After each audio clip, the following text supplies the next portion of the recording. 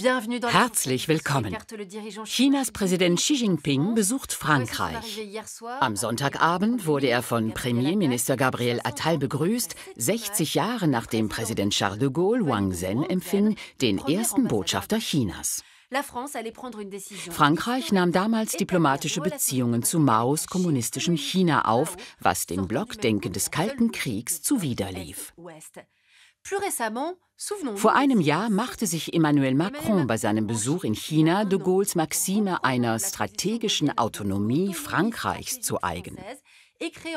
Kritisiert wurde er für seine Worte, dass wir uns beim Thema Taiwan nicht an den amerikanischen Rhythmus und eine chinesische Überreaktion anpassen sollten.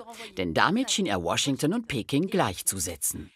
China scheint die Spaltung Europas ausnutzen zu wollen. Angesichts des russischen Angriffs auf die Ukraine, den Peking nicht verurteilt hat, und des Handelsstreits mit der EU testet Xi die Grenzen der westlichen Einheit aus, auch indem er außer Frankreich europäische Länder besucht, die sich mehr am Osten als am Westen orientieren.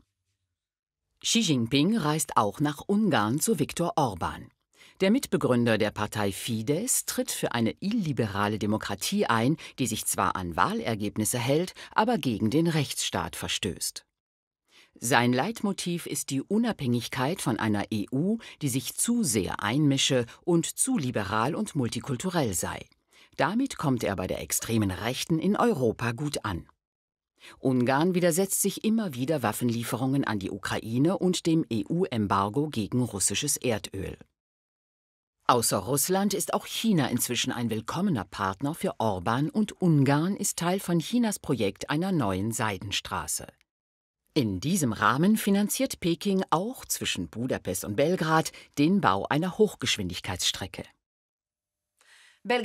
In die serbische Hauptstadt wird sich Chinas Staatspräsident diese Woche übrigens auch begeben. Denn China investiert massiv in den Westbalkanstaaten. Die EU ist zwar weiterhin ihr wichtigster Handelspartner, aber China folgt unmittelbar darauf.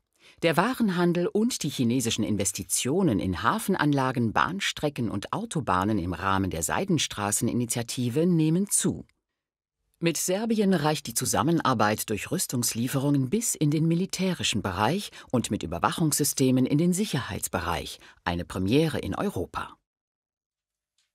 Mit seinem Besuch in Europa verfolgt Xi also mehrere Ziele. Er umwirbt Länder, die noch nicht der EU angehören, wie Serbien, oder gegen deren Regeln verstoßen, wie Ungarn unter Orban, und er setzt auf Frankreich, um sich nicht mit der EU auseinandersetzen zu müssen, auch wenn Ursula von der Leyen nach Paris gekommen ist.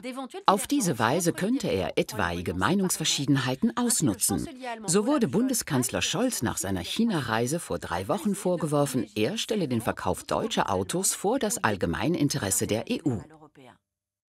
Soweit zu unserem heutigen Fokus. Bis bald.